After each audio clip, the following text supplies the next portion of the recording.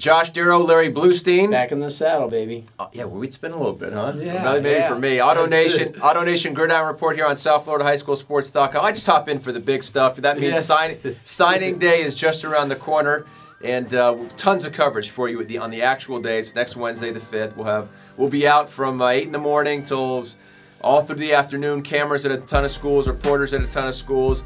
We've got a lot of good things planned for you. But uh, in this edition of the Gridiron Report, uh, there's still a handful of kids that are uncommitted uh, with some schools that they will be choosing between. So who better to tell you what those schools might get than this man, Larry Bluestein? And let's start with uh, one of the best kids in the 2014 class. In fact, all these kids are Yeah. it probably made your top 50. Treon Harris, originally committed to Florida State, still might stick there, but also looking at Florida, Auburn, and we'll take a visit to Miami. Uh, whoever gets Treon Harris as a quarterback, what kind of quarterback are they getting?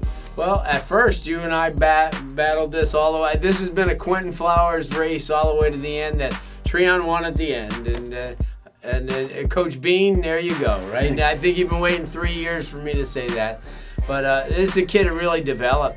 Use the seven on sevens, use those off-season workouts. His speed, his athleticism, his family bloodlines are pretty darn good too. And uh, just became a really natural quarterback that got it done on every stage. So why wouldn't he get it done at any other stage? Yeah, where, wherever he picks, whether it's still FSU, he decides maybe Miami or whatever.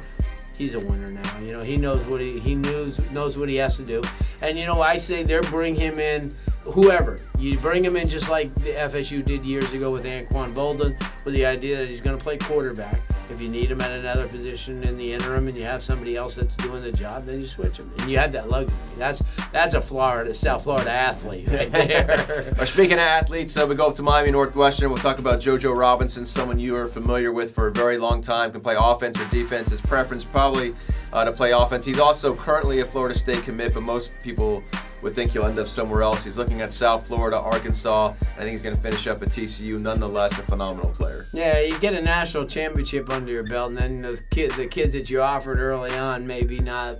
You know, there's other guys that come along, and I just think that JoJo is one of those victims of never really getting an opportunity to show what he could do the best, because he's always been viewed as the savior. He's he's had to play on both sides of the ball. He had to pick him up uh, from a you know from from a, a leadership standpoint. He's had to do everything but play his own game. I, I definitely think Josh he gets an opportunity to get to the next level. They put him in that slot. His speed, his size, his ability to get upfield. I think he's going to be very special. He still runs with the ball as well as anybody. I still remember when he, he and, and Yerby were regarded as the two best running backs coming out that year. What else can you say about Wharton? Big game kid. I mean, against anybody, he'll. You think you have him, and he'll put the ball in the referee's hands every time. The kid's a winner. He knows how to do it. He did against uh, that rainy day against um, Killian and, and for the. for Oh, the- yeah. Woo! Because he made a great catch when he needed to, especially in the mud.